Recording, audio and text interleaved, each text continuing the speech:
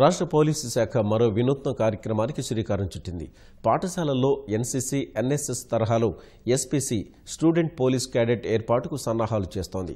ఇందుకోసం ఇప్పటికే స్వచ్ఛంద పోలీస్ అధికారులను నియమించారు. వీరి ద్వారా పాఠశాలల్లో విద్యార్థులకు పోలీసింగ్ విధి విధానాలపై పూర్తిస్థాయి శిక్షణ ఇవ్వనున్నారు. ఈ కార్యక్రమంలో భాగంగా విజయనగరం పోలీస్ శిక్షణ కళాశాలలో స్వచ్ఛంద పోలీస్ అధికారులకు అవగాహన సదస్సు నిర్వహించారు.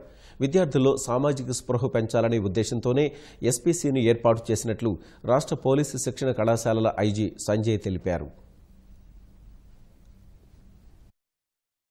ఏపీలో మనము స్టూడెంట్ పోలీస్ క్యాడెట్ ప్రోగ్రామ్ని అందరి స్కూల్స్లోకి తీసుకెళ్ళడానికి వాలంటీర్ పోలీస్ ఆఫీసర్స్ని నియమించుకోవడం జరిగింది ఇది వాలంటీర్ పోలీస్ ఆఫీసర్స్ అనగా ఎవరైనా సమాజంలో ఉండే doctor teacher lawyer engineer anybody police డిపార్ట్మెంట్తో పార్ట్నర్గా తీసుకొని వాళ్ళ ద్వారా మేము వాళ్ళు కలిసి చోజన్ స్కూల్స్ కొన్ని స్కూల్స్ ఏర్పాటు చేశాం. ఆ స్కూల్స్లో కొన్ని టాపిక్స్ ఇచ్చారు సమాజ శ్రేయస్సు ఆరోగ్యము స్త్రీ శిశు భద్రత ఇవన్నీ కూడా పిల్లలకి ఎయిత్ అండ్ నైన్త్ క్లాస్ పిల్లలకి అర్థమయ్యేటట్టు చెప్పడం. వారంకి ఒక పీరియడ్ సంవత్సరంకి యాభై పీరియడ్లు.